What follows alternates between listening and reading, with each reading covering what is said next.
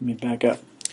So uh, we're going to talk about real property and environmental law. Last class in chapter 23, we kind of talked about the differences between real and personal property. Now we get more de- depth about or detail about real property. Uh, and that means we're going to talk about everything from fee simple, which we used that term last class, to uh, other ways you can get possession of property, like adverse possession, some of the limitations imposed on your right to own or possess property. We'll look at leases, and then we'll end with some uh, stuff about environmental law. So we did mention that real property is generally immovable and includes things like land, buildings, homes, but this slide gives you a little more detail about other things that it might cover, like the air below or the, the minerals above, or the air above and the minerals below. Right? Just seeing if paying attention. So, uh, if you ever get a deed to property, one thing you'd want to check is that you get it all, right? That you get um, not only the right to use the surface, but the subsurface or the air above it. That'd be a bummer. You can only use the surface and didn't get the air. How would you breathe? That would be tough. Um, probably more common that you, I mean, that you grant rights to others to use the airspace, or um, you grant the right for people to come on and take things from your property. Like what kind of things might they come take? Dirt, what? Water, Animal. gravel, animals. So we're going to talk about all the things you can take and what kind of rights those are. Plant life and vegetation, uh, minerals below the property, or fixtures, which we talked about that a little last time in terms of it being personal property, but per, uh, fixtures are personal property that get permanently affixed to the real property and basically become part of the real property. And what is the single most important factor from your reading of the chapter that the courts look at when determining whether something is a fixture or not? Well, I mean, certainly how permanently is it attached and, and how much effort it would take to remove it, how much damage would be. But it's one word. Just one word. Starts with an I. Yes, intent. It's also up there on the slide. So, um, what did the person mean when they put it there? Is it something that they um, put there but planned on moving later? Do you remember any recent examples of that? The dome, right? The detachable dome. And um, what other things would you say would be a fixture? Well, would a barn really be a fixture, or would a barn be real property from the beginning? Because a barn to me sounds like But if you erect one, yes, but you erect houses, you erect buildings, right? I mean, yeah, I, mm, yeah. I mean, I, again, I think it Back in the depends. My mom had, you know, the huge, one, before they had the little tiny so it was like almost a fixture that was. I know I uh, I canceled my DirecTV and I had one of those like big old giant. I mean, I've had it that long. Like I called them and like, um, I need to cancel. They're like, well, you've been a customer ours for years. We don't want any of your stuff. so, yeah, yeah. I suppose it could be mounted in a, a location in, in a way that it's not intended to remove. A mobile home. Well, I don't know if that's a fixture. I think it's one or the other. I think it's personal property when it's mobile, and I think it's real property if it gets attached. I mean, I think part of our confusion here is when we, we think of attached, we well, technically we would attach everything that didn't naturally occur on real property. Like we, although I was about to say we don't attach trees, but I attached a couple trees. Right? I mean, I don't think those are fixtures. I think those are real property. Yeah. Yeah, but that's Here's an defined. example of the irrigation system. Right. So an irrigation system, by looking at it, you can probably tell whether the person intended for that to become permanent or not. Like a hose and a sprinkler, same thing with a pool. I mean, how easy would it be to remove? Sure. I mean, there are the uh, small kiddie pools, inflatable pools, but then, you know, after a while, it's intended to be more of a permanent solution. Chandeliers? I don't know. I guess part of it is when you go to buy a house, isn't there some question as to what goes with the house and what? So, one thing you're going to want to do is be specific about what you get. So, if it's so adapted to the property, it becomes part of property. And uh, this is true in the commercial setting too. Um, when I lived in Kalamazoo, they were building, Western Michigan University was building an industrial park near the highway. You guys probably, if you've been up and down 131, seen it. And um, they had these big pieces of equipment inside the building, so big you couldn't get them out. How'd they get there? They yeah, they either built around it, they put it there, and then they built around it, or they figured out a way to bring it in and put or brought it in in pieces, right? So haul it in before you put the ceiling on, bring it in in pieces. Then, but the point is that it would be really hard to remove. Um, often, uh, the law says you can take a trade fixture as long as you can remove it without causing any permanent damage. If you can fix it, you're usually good to take it. So remember fee simple from last time? Now we get to fee simple absolute. Fee simple absolute is the biggest bundle of rights you can have to real property. So those things we talked about last time: selling, giving it away, uh, gifting. Yeah, that'd be the same thing as giving it away. Uh, leasing it, Trading. trading it for some others. Good.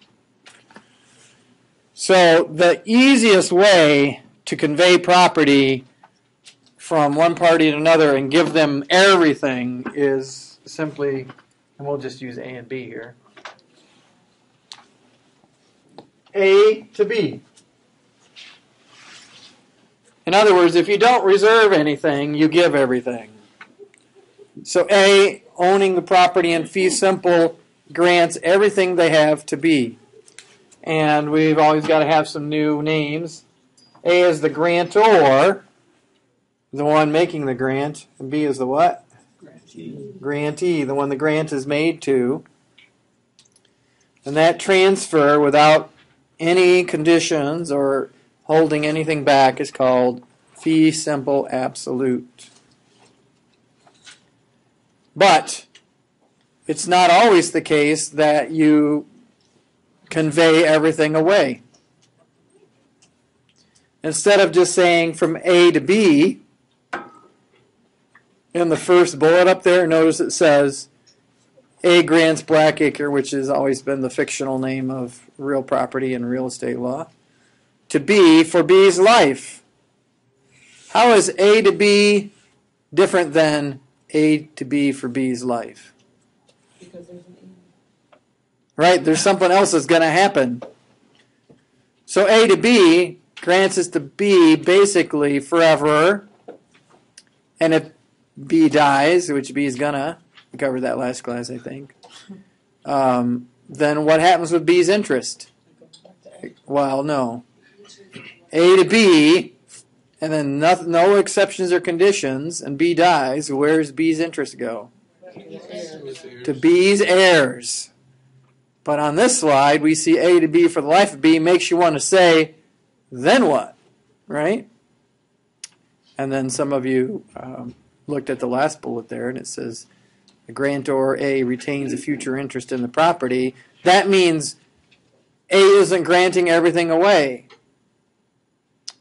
Now, A could. One way of granting a life estate is say A to B for the life B, then back to A. What? A to B for the life of B, then back to A. I want you to have this property while you're living, but after you, you're dead, I wanted to come back to my estate. What if that person's dead? I said estate. I didn't say person.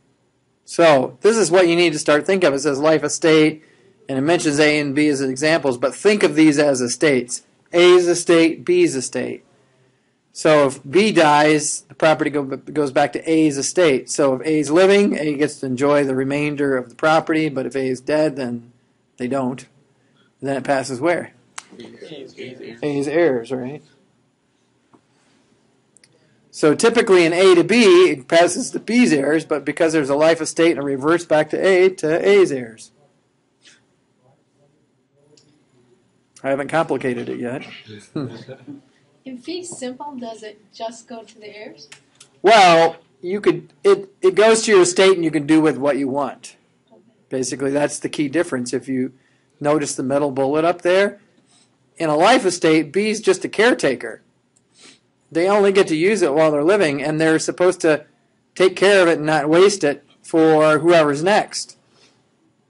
So if it's going back to A, A needs to get something back. Um, but if it's just A to B, B can do with it whatever they want, and it that could mean if they die, it goes to the heirs. But it also could mean they could do what with it? Sell it, uh, de- or will it however they want, rather than going to my heirs. I want it to go over to someone else. So not to throw a curve in it, but why not? A to B for the life of B, then to C. So the future interest doesn't revert back to A, instead it goes on to C. I like to call this the bad son in law grant. A to my precious B, I hate her husband, then to C, right? So it's A's way of controlling what happens to the property for a while with one grant.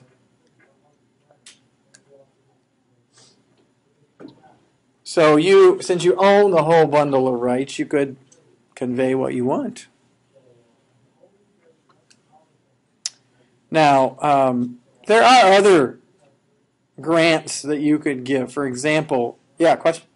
Um, you said that it gives them the opportunity to control it for a little while. How far could they go with that? Could they just say it goes to you, then it goes to you, then it goes to you, and just on and on and on and on like that? Well- Is there? Um, there are some limitations in the examples I give, like A to B for the life of B, then back to A. Then Then it goes into A's estate, and whatever happens. I mean, the property continues forever, and it goes somewhere. The question is just where. So I say A to B for life B, then to C, and then when C gets their interest, they can do with it whatever they they want. But could the grantor then keep? Like, I suppose. Let's say you've got like uh, a bunch of kids, and you say A to my eldest, then on to the next, and the next, and next. Why is that so important? Because if you're an heir of one of these people, don't you want to know what you might get? So let's say you're A's heirs, and A conveys a life estate to somebody else. What do you want to know? When they're going to die and if the remainder is coming back to A's estate, if you're going to get something. Same thing with C, you know. C has an action against B if when C goes to get their interest, they got nothing. Right? A to B for life B, then to C. B dies, now it's C's turn. C's got B's basically diminished the value of the estate. Now your question might be, well, isn't B dead? What do they care? So it's an action against B's estate. So you could actually put a number of conditions on a grant. Like, what if I said A to B as long as B uses it for charitable purposes, then back to A? You could be saying, here, I want you to have this property as long as you use it for charitable reasons, but if you fail to, you sell it, you start using it in a way I didn't intend, I want it back. Yeah. I think I have a good example of that. Yeah? I know a girl, like, she was considered B, the grantee. Her dad passed away. He owned a home.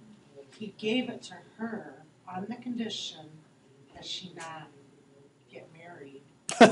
married. If she does get married, then it goes back to his estate, and it has to be divided up amongst all the kids. wow. Yeah. Woo! But I guess it was to give her a place to live. She's a single mom.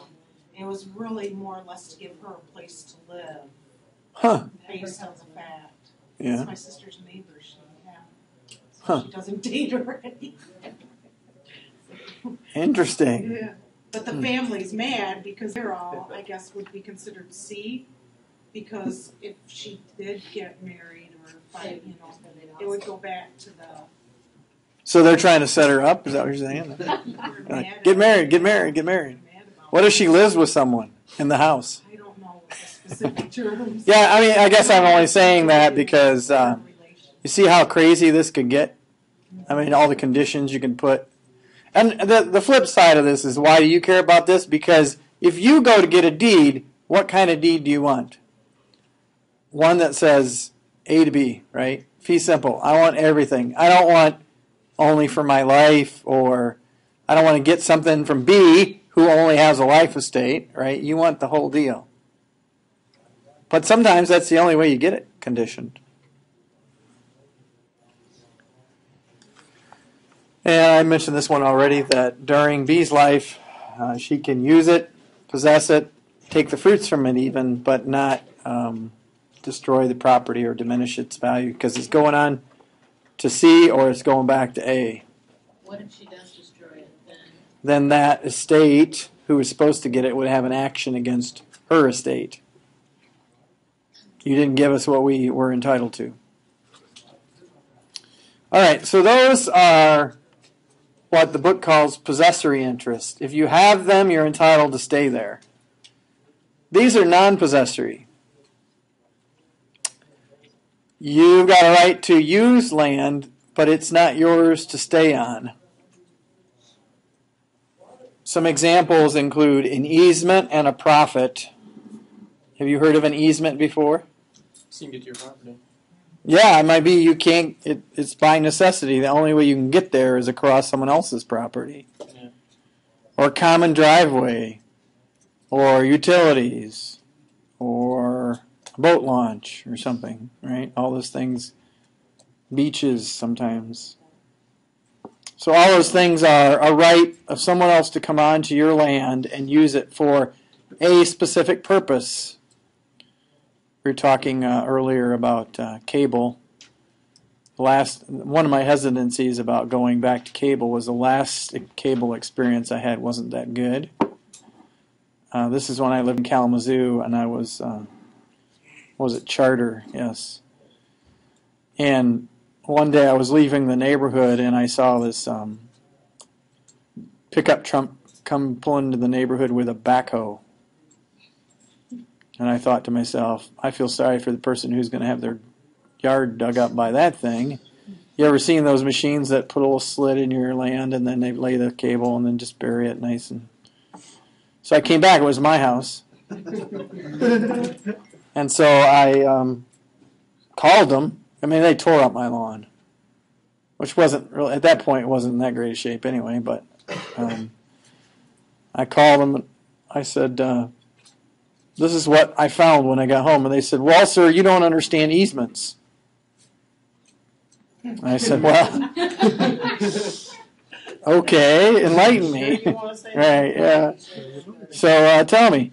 And so they said, well, we have a right to come on your property, use it to dig up, maintain, blah, blah. And I said, well, yes, you have a right to use this many feet of the front of my home for this particular purpose. You, when you talk about maintain, that doesn't mean tear up and leave. They said, oh, well, that's, that's true, but the bad news is we contracted this out to someone else. They did it. Well, what do you know about um, duties that you might delegate under a contract? Somebody's liable. And who is it? The person Charter, right? I said, I, you know what? I don't care who you contracted with. I have a contract with you. I granted you the easement, so you are responsible for maintaining it. So um, they said, well, we'll get a hold of them, get them back over there, and fix it.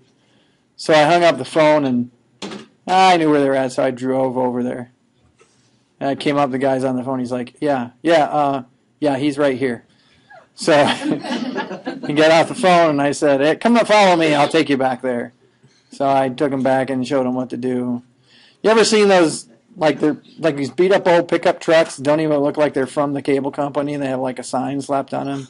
I call them Yahoos and pickup trucks. Right? They're just driving around, tearing things up, and getting paid for it.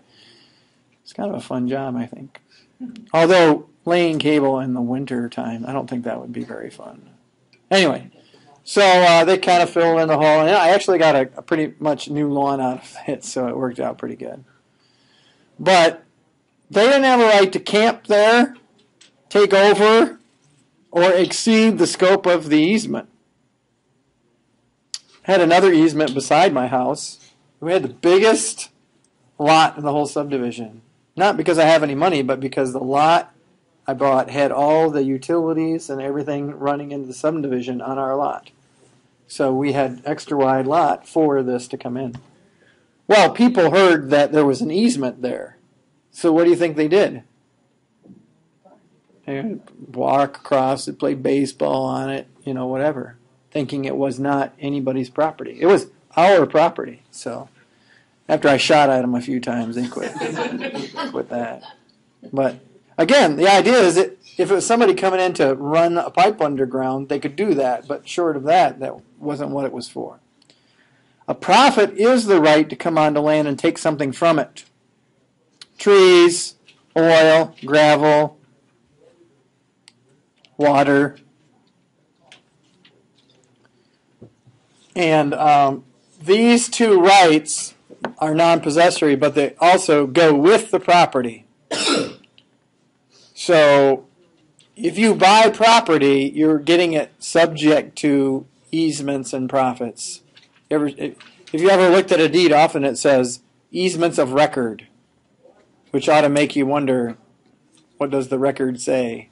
I mean, it's pretty common that um, land will have a utility easement on it. But what other kind of easements might be on the property? Like your neighbor might have an easement over your property or something like that. Yeah. We lived on the other side of the rapids, and there was actually What's the other side? the southeast side. If you're right downtown, what's the other side? Southeast. Yes, Caledonia. No, we were in, still in Grand Rapids, okay. but there was a house that they owned a wider lot, and they someone had constructed a path from, and it went one street to the next, so people would take that path to the park. It was right in their property. So Question is, is it an easement? I don't know. Sometimes people complained about. It- right. The kid was really convenient for the kids to rather than rolling around the block. They just cut down this little path. Yeah. Right in the middle of their property. Yeah, and, and there's a slide coming up here that talks about different ways you can get an easement. One is to get a grant, you know, in a deed that says there's an easement here, there's a path. Another way could be by adverse possession. You know, people people have claimed that on uh, like lake shores, you know, on beaches and paths and boat launches and things like that. No one ever said they could do it, but they kept doing it, kept doing it long enough. Like my family's got landlocked property, Right. right to get there, so you can get an easement. for your- Or a helicopter. yeah, Right. I mean, Air somehow you got to get You out. the or jump really far, I Well, suppose. some places you can't get helicopter pay. Yeah. Somebody just tried to get one in Ada. Dig the balls. Yeah, it was turned down. People wanted to put. it Why can't people have their own personal aircrafts? That's what I want to like. Like I always see these things like uh, these, these new these jet packs and new small personal airplanes coming out. Why? I mean, You could have that would be awesome. You have the pad. on the yard. so you can hover, you just can't land. So yeah, you drop out, rappel out, you're good to go. I mean, you have, I don't know. I don't get it. I think we should all be flying all over. Then we'd have texting and flying. God. Don't tell me. Uh, Watch where you're going. I mean, one of the unsafe things I see is students texting and walking. It's so dangerous. You know, they have a new app out where you can watch where you're going while you text.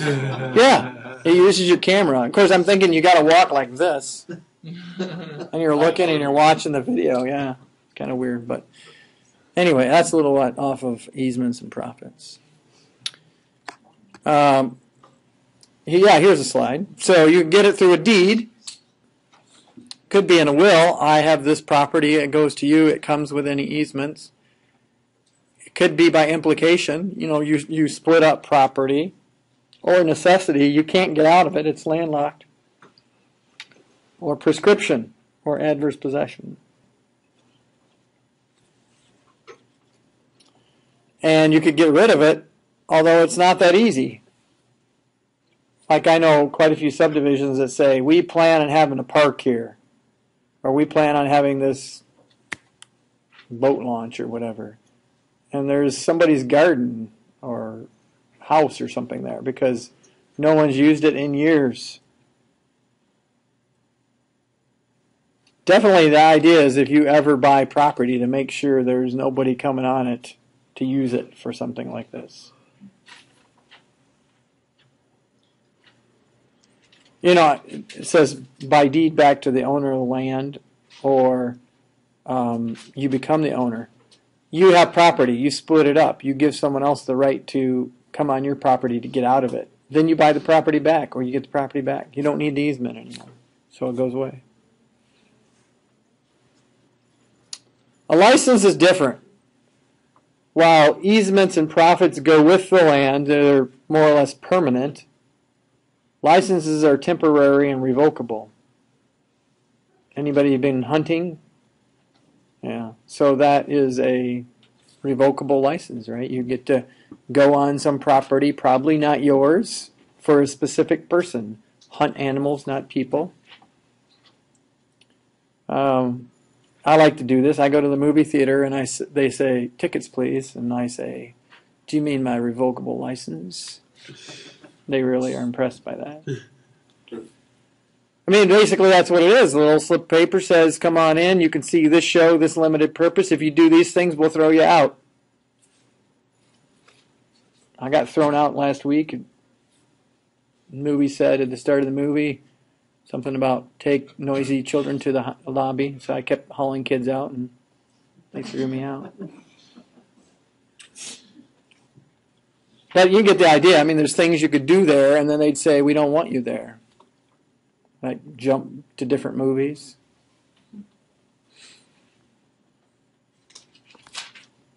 Here's our list of ways that you could transfer ownership in property. We've mentioned a deed already. You could gift it, sell it, inherit it from somebody else, get it through adverse possession, and, and that there's a slide coming up on that. In eminent domain, that's a new one. What is that? Anybody remember that? When the government takes it, and they have to have certain um, criteria that they have to meet in order to constitutionally take it. Let's start with the first one a deed. A deed is a writing that evidences a conveyance from the grantor for the grantee uh, with a legally sufficient description in it, not from this rock over to those trees, but you know, in terms that would identify the land from any other land on the face of the earth. With the grantor signature, who's the grantor? The one making the grant, right? You you need their signature on it. And then, like other things we've talked about, you also need delivery. It's not enough to write it up, sign it, and throw it in a drawer. You actually have to deliver the deed to convey the property. In case you see that in the future, all of the above.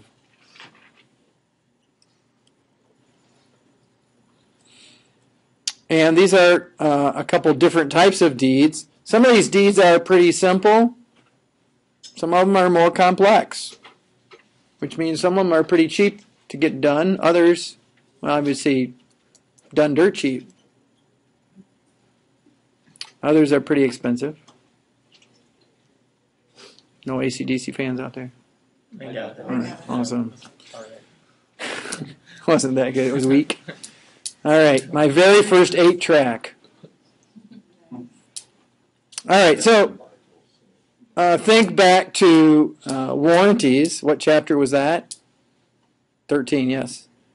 So, um, you guys, you have to start looking at this stuff. If you're not going through that review sheet, make sure you start going through it.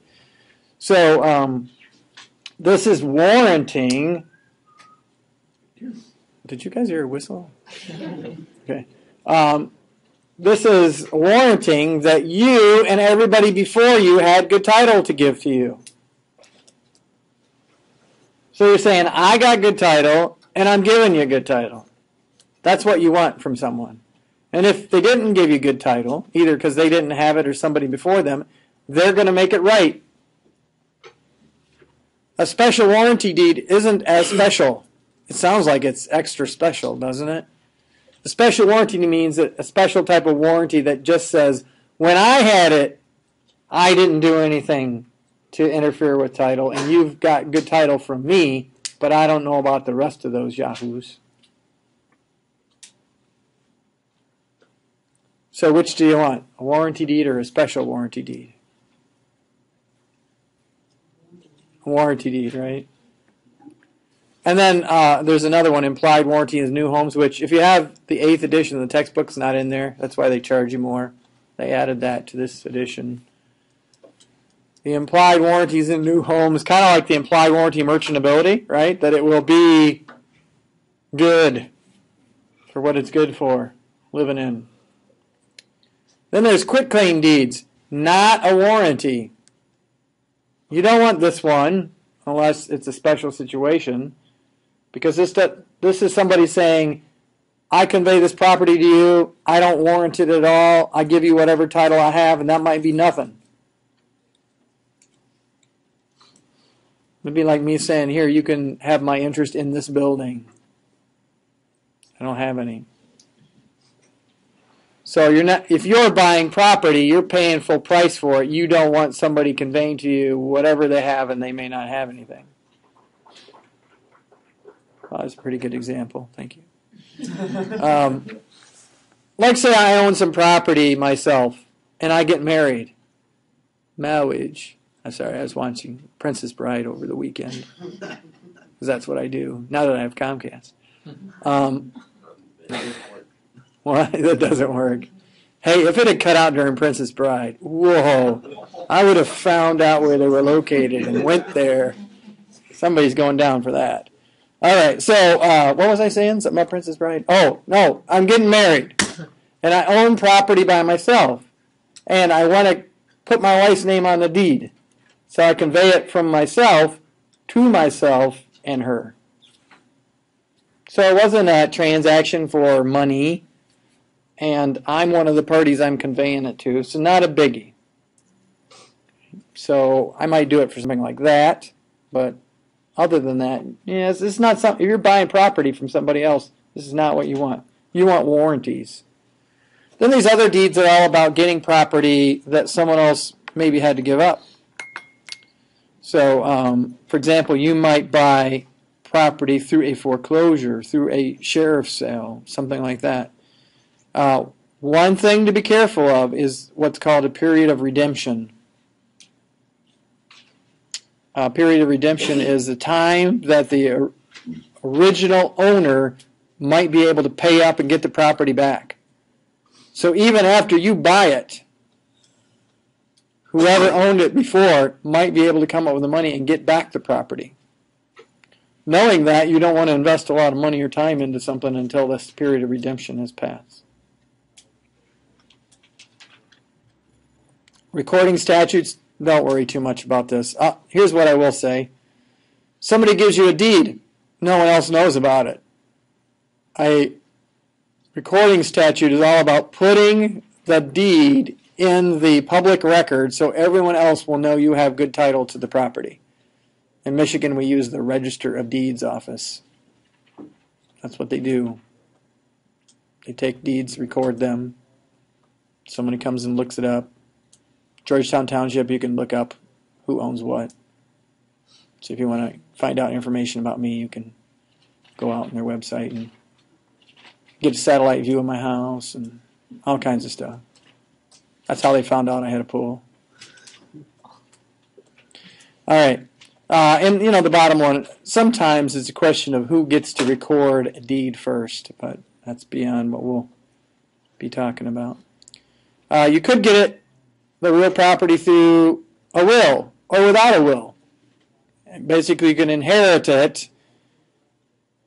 If somebody dies with a will, it's called testate. If they call, if they die without a will, it's called intestate, which is not the best. Intestate means the government decides what you would have, how you would have want your property split up. That doesn't sound like a good idea, does it? It's up. Why don't you figure it out, put it in a writing before you die, versus letting your government assume how you wanted it to go. But either way, someone might get property through a, a will or through intestate succession, they call it. How does that work with um, like teens that die, or like young young people that die like in car accidents or something? You mean with their property? Yeah. Teens that own real property? Well, say a teen owns their own car, they paid for it with their life savings. Oh yeah, I mean right now we're talking about ways you get ownership over real property. Oh, okay. We're not talking about teens and personal property. So say, What if he's an heir? okay, uh, what if what if uh, somebody in their early twenties owns a piece? Say like you being in your Yes. early twenties, yes. I own my own land, and Yes. I die. I don't have a will. What happens to it? The government says. No, usually not. I mean, and basically, what I'm getting at is in intestate succession laws, which is easy to say. There, there are a set of rules that basically say, you know, if you're married, it goes to your spouse. If your spouse, you know, then next, next, you know, just Okay. like this is the way we generally think things should go if no one has said how they should go. And usually, your age doesn't matter too much. All right, adverse possession. We mentioned it before. We I think I called it squatters, right? Last class, I remember. Uh, there's a statute in every state, and it differs by the type of adverse possession in the state that says if you hold property that doesn't belong to you, we're talking about real property, long enough, it might become yours. So um, when I bought my property, the reason I bought it was because there was only one landowner behind the whole subdivision. It was all woods, and there was no way to develop the woods. So we had wooded lots. And um, when I first moved in there, I was the first house in there, and I said to the guy, "Would you mind if I cleared some of this out?" Because it was a old horse ranch. There's barbed wire fencing and all kinds of stuff. He said, "No, don't go ahead, clear whatever you want out, except don't cut down my trees." So I proceeded to clear everything out but the trees, barbed wire and everything, and plant grass. So now my lot goes back pretty far. Well, after a few years, I thought, ah, I just put up a little fence. Right? So he comes along one day and he sees the fence there and he said, You know, that's not the property line. I said, Oh, yeah, I know. I mean, we've talked. I know that's not the property line. He says, Well, I think I want you to take it down. I said, Why? Well, I mean, you and I might know that, but if it stays there, then somebody might be under the impression that that's where the line is. And what if you try to claim that it's your land?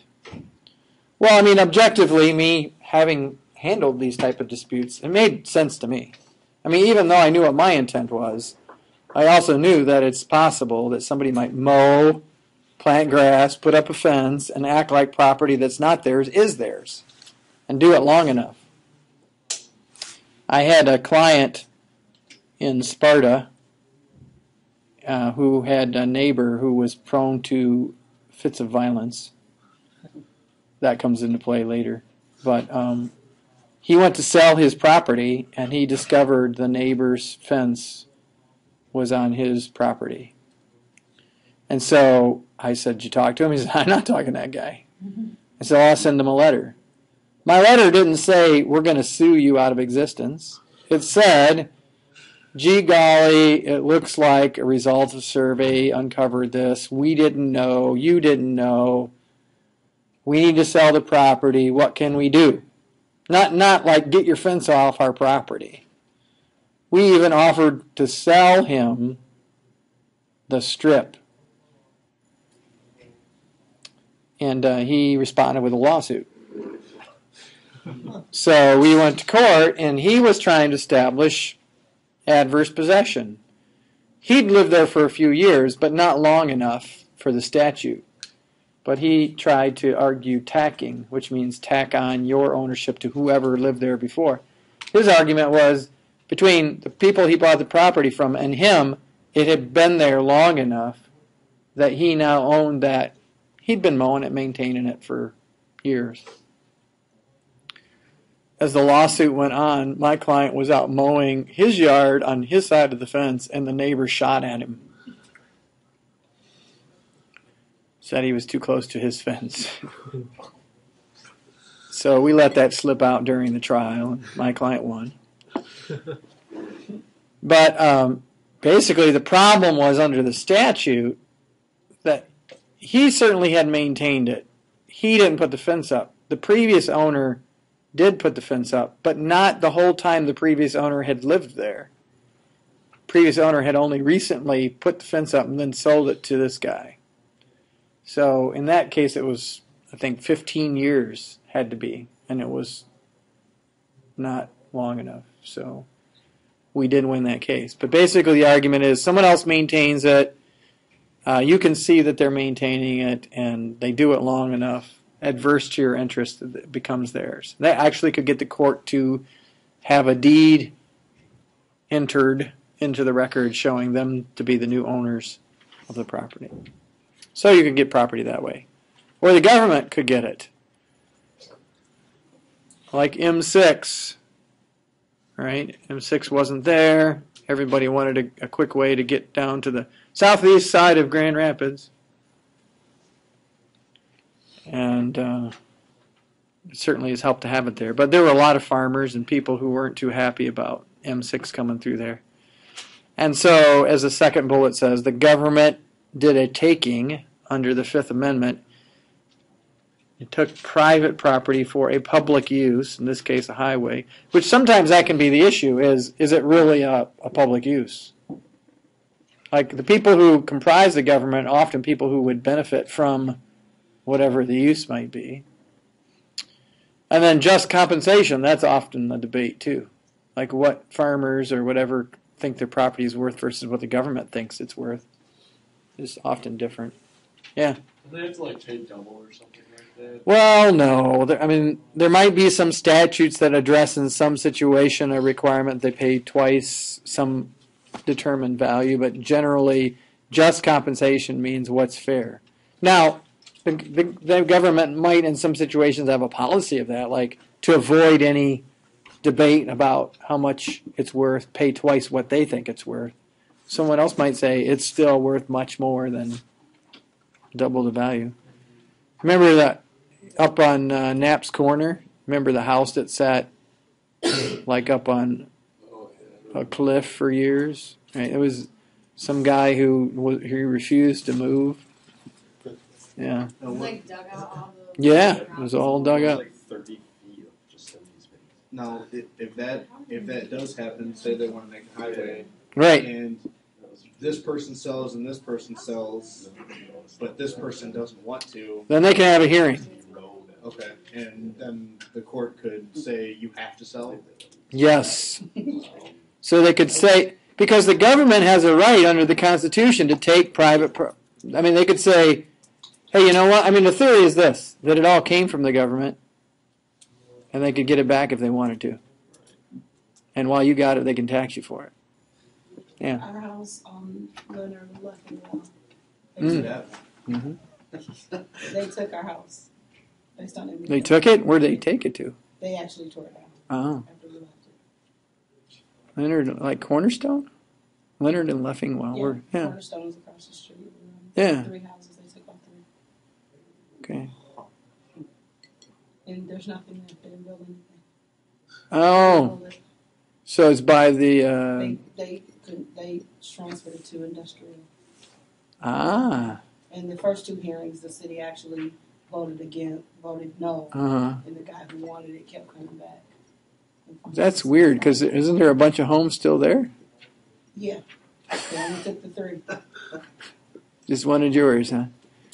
I mean, there's Red Hot on the corner, Which was down the other corner. Right. We were kitty corner. Yeah. The yellow house with the. And Oh, okay. Yeah. They took us. I know all that property pretty well. Yeah. And they were really crafty about it because the last time they served notice of the hearing, they sent postcards that Didn't get there till the day before. Oh. So they thought that was notice, huh? They did pay us above market value for that. Oh. All right, leasehold estates. Anybody lease, rent?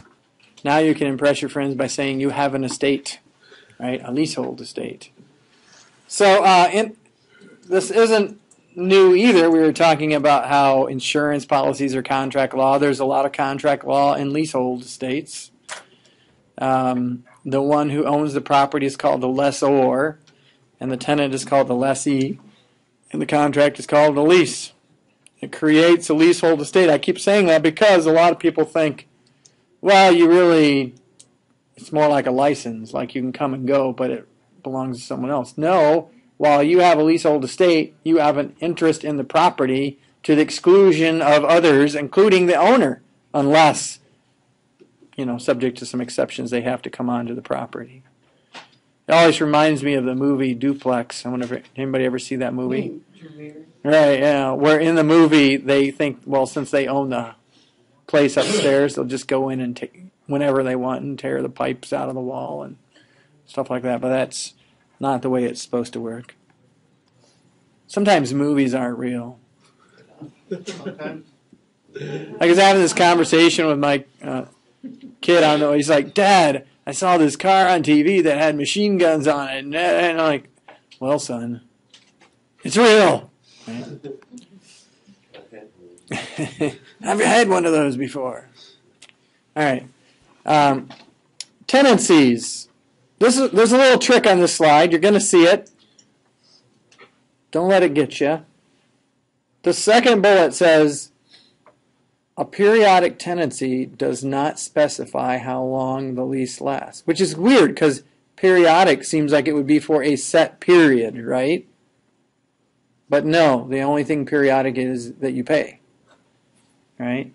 If it's so if you had a lease that was a year period, that's not a periodic tenancy. If you look up on the slide, what kind of tenancy is it? Tenancy for years. So don't fall for that. Don't fall for that. Yes. So what's the difference between a periodic tenancy and a tenancy at will?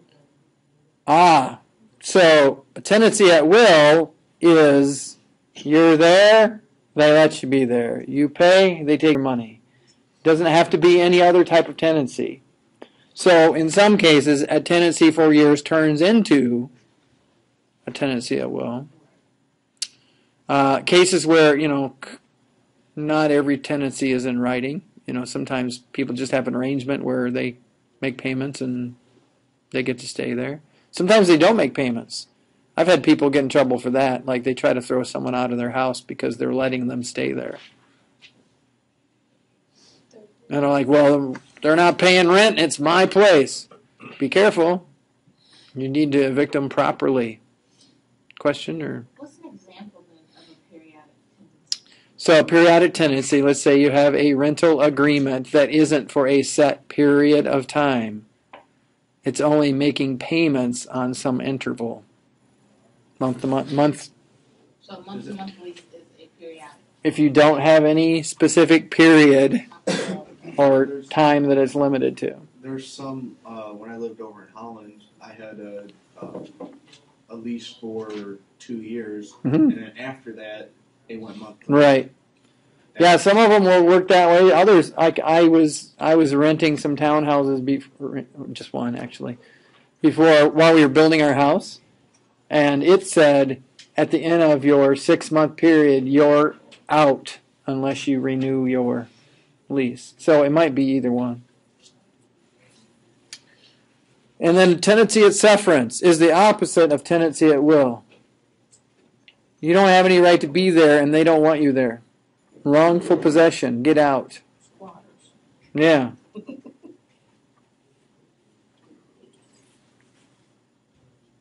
Although sometimes some people have gotten rights to places by squatting long enough and a tenancy of sufferance. Like in Chicago, they actually turned over some buildings to homeless people who were living in them. Because, I mean, they basically took them over and lived in them for years and then said, they're yours. Doesn't that take like ten years though to do? It depends on the statute.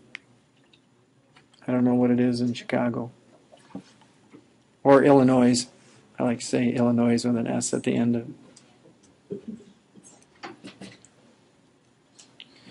All right, so um, there's a lease agreement, might be oral, often written, giving someone the right for use, exclusive possession of the property, governed by everything from contract law, common law, state and local statute, even some federal law.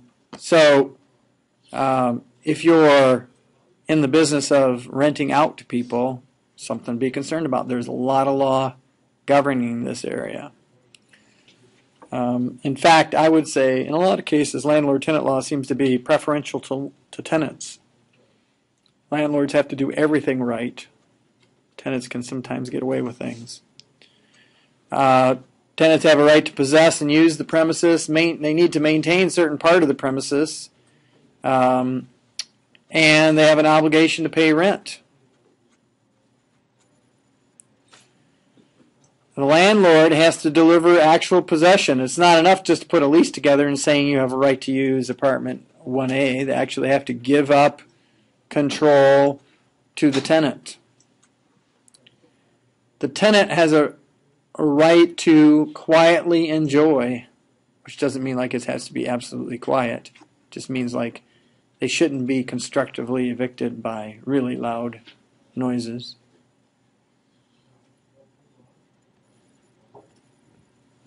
There's a good way to evict and a bad way. A good way is to follow the legal process to evict somebody. If you have any question about what rights they have, to make sure they get notice and you follow the proper process.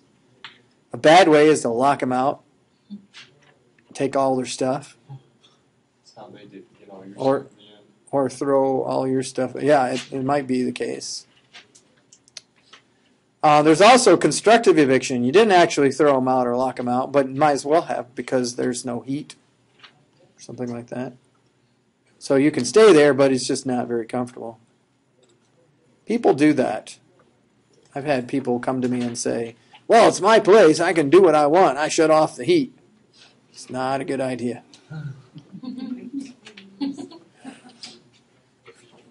Frozen people, not good.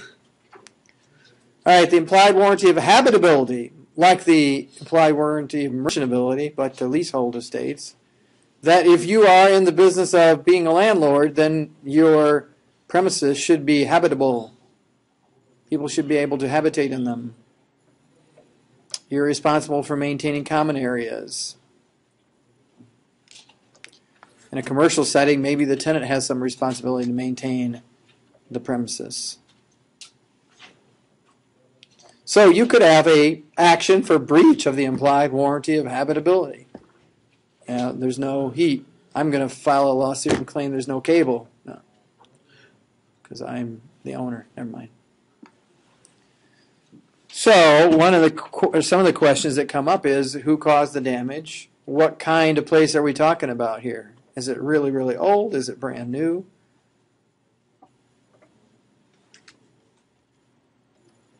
And then rent, is that consideration under the contract?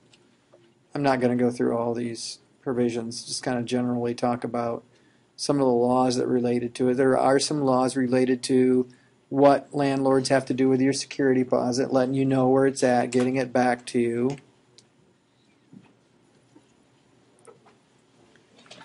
Um, one question that does come up is uh, what if you're a tenant and the landlord sells the property? Well, now you have new landlords. Right? You don't lose your tenancy because there's been a sale. Another question that comes up is can you, as the tenant, convey any part of your leasehold estate?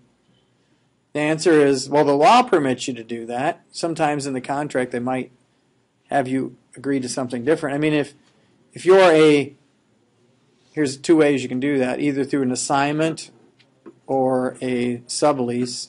Assignment basically, you take over my lease. Sublease, you, you take a part of it over. Well, if you're a landlord, you do a lot of checking into making sure whoever you rent to is who you want renting. So if they can just turn around and easily sublease to someone else, this could be a problem. So at least what I see in um, leases, pretty common, is you need the, the landlord's permission before you can sublease or transfer an interest.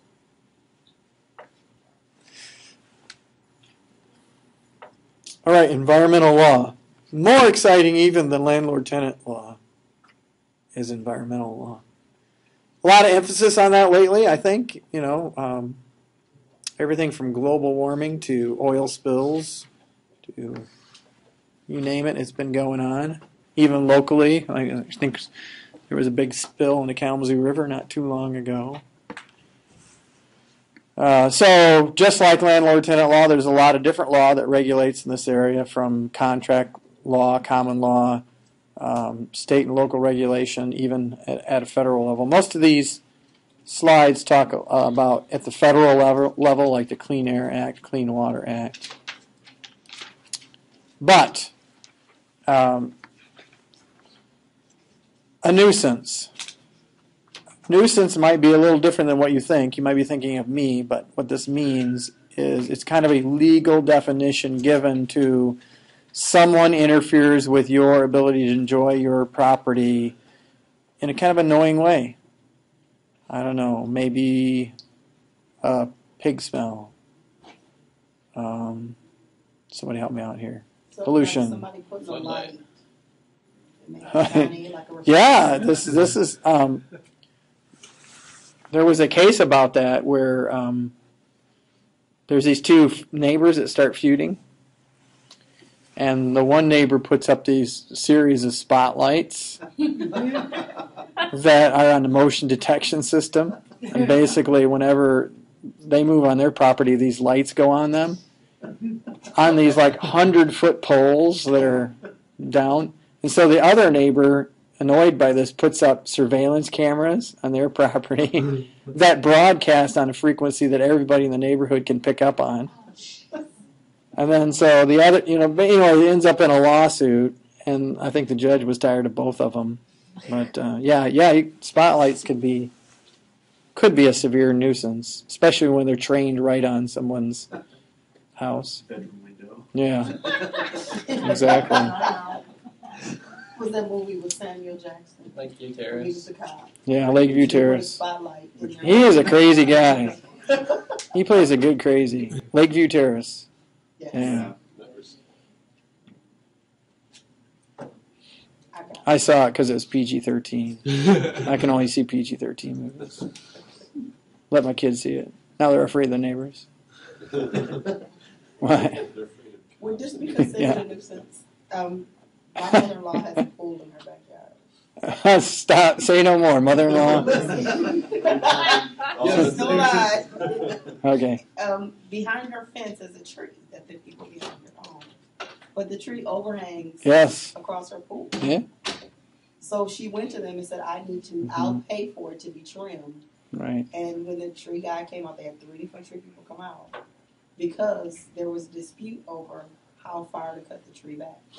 All three of them said, we cut it back to where it's just not, um, Over the pool anymore. It's going to do something to the the tree. tree. Yeah. we have to go back to the actual trunk. So it's tree or pool. Yeah.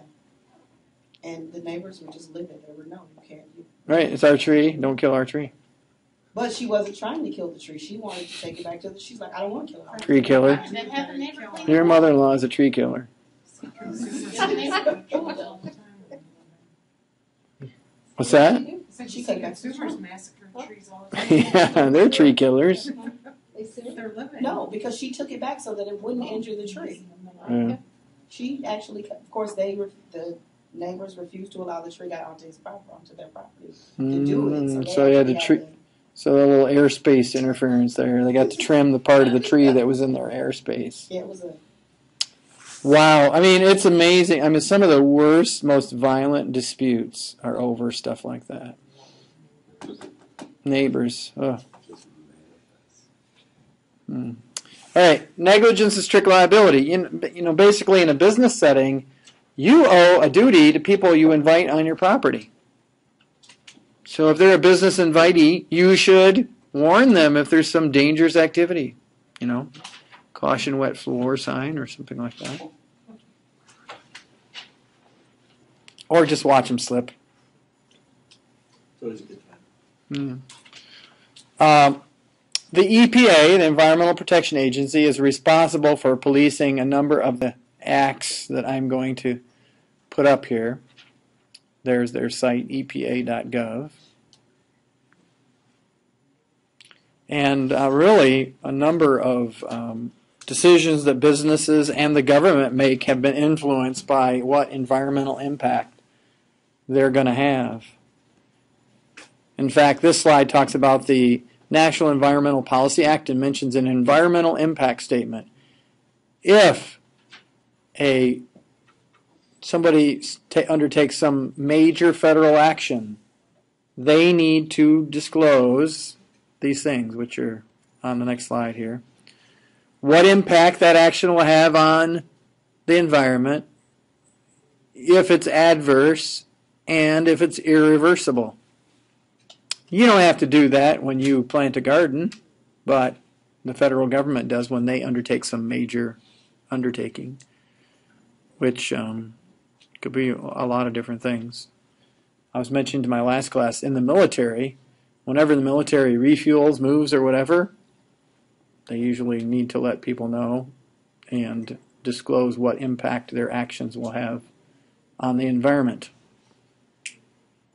I remember my arch nemesis was the Kirtland warbler. Anybody know what the Kirtland warbler is? All protected species. You couldn't go anywhere around them. Couldn't disturb them, you know, because they were mating and everything. Anyway. The Clean Air Act has to do with clean air.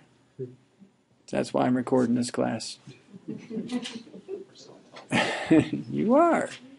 Uh, both from stationary and mobile sources of pollution, things like factories to cars.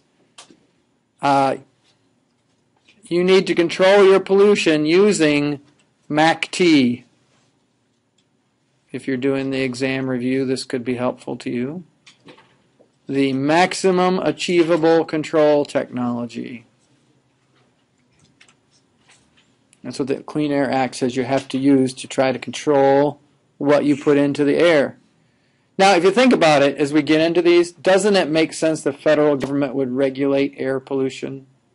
If you think about it at a local level, they could too, but doesn't air travel past state boundaries? It would be good. Cars do, certainly. Factories are more or less stationary, but their pollution travels. What was that again? Maximum achievable. Last part of the paragraph there. I'll leave it up for a minute. Oh, I see. Yep. So basically, use the best you have to make sure, not just like, eh, we made an attempt. What number is it? 90 or 9 or 0.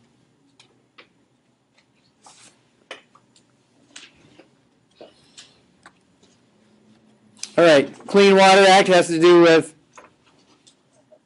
Clean water. awesome. See? So, uh, no, it's a trick. Um, yes, Clean Water Act has to do with clean water. Not all water, but most.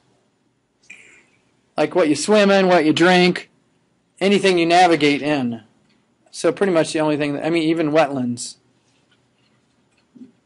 Like the townhouses that I stayed in were on wetlands. That was kind of weird. The townhouse, the, um, I think they're trying to sell them now. Up behind uh, Rivertown Crossing Mall. You Anybody knows where those are at? Like that whole thing was a swamp. And they put these townhouses in there, and then like all around it are signs that say "protected wetlands, protected wetlands." So you, you can't do any, you can't put anything in there because if you put anything in there, then it leaks into, it seeps into the wetlands. It's weird. Somebody told me that's why the parking lot's all like up Uh-huh. and down because like all those. Oh, you mean that Rivertown Crossing Yeah. Mall? Yeah, It's kind of funny. Yeah, that is weird. You know what we're talking about? Rivertown Crossing Mall, the parking lot. It was like there's speed bumps. Like, no, they're not. I thought that was speed bumps. No, there's no way. Hey, I can take those things fast, man. It's fun. I remember when that mall was first built. It was flat. Yeah, I swear. it was. I remember those days when there was only 44th Street, and they built all that up. That's scary. You're driving on it and it just collapses. All right, water pollution. There's a number of other acts related to water, from Safe Drinking Water Act to what you dump in the ocean. I'm not going to ask you about ocean dumping. Just it's bad. Maybe guy you should know. That's right. We don't deep six things. Same thing. Same thing with uh, oil pollution. That's bad too. A lot of that going around lately, right? Uh, even toxic chemicals. Actually, these guys, what are they? It looks like they're cleaning up booms from an oil spill or something, but some type of toxic substance here. Uh, everything from insecticide, fungicide, and rodenticide um, to where you uh, store and dispose of toxic chemicals, how much you can hold, what kind of labeling you have to put on it, or if it's even prohibited altogether. There's lots of stuff sitting in the sheds of people's houses that used to be okay to use, no longer okay to use. Um, and then disposing of it. So there's rules related related to where and how you can dispose of hazardous waste. I always think of Hastings, my my hometown, because it's at the intersection of M37 and M43, and right at that intersection there's a gas station. Well, I don't know what it is now, but no one ever wants to do anything with it because it's leaped all kinds of fuel into the ground. And um, at some point, some sites have um, become hazardous waste sites that need to be cleaned up. And in the old days, they used to try to figure out who put it there, find them, sue them, recover the money, and then clean it up. Well, that didn't work in some cases. Some cases, they're bankrupt, they're gone, can't figure out who did it, whatever. So, there are a whole lot of uh, laws related to what it takes to be declared a Superfund site. But once you are, the government comes in and cleans it up and then goes looking for perps. That's what I like to call them. At the bottom there, underlined, potentially responsible parties in case you were thinking it was something else. Basically, um, if you're somebody who transported hazardous waste somewhere, you're the person who's responsible for putting it there, or you're the one who's holding it, you could be responsible. Jointly and severally. That means one of you, some of you, or all of you might have to pay. Well, if you think about that, this is important. What number is it? 47. Um, let's say you have a site and it's discovered to be contaminated, and they try to figure out who put it there. They can't find out who transported it there. They can't find anybody who was there when it was put there, and you're the only one. That means they can come after you for all of it, even though you didn't put it there. So, what would be good for you to do before you buy property? Get an attorney. Yes. Always get an attorney, that's what I say. Um, but, yeah, have it che- checked, have it tested. So even if um, you were transporting fuel to a gas station and the, the tanks for the gas station had a leak, you could be responsible for it. Oh, I don't know. I don't know uh, how many cases are about that. Okay.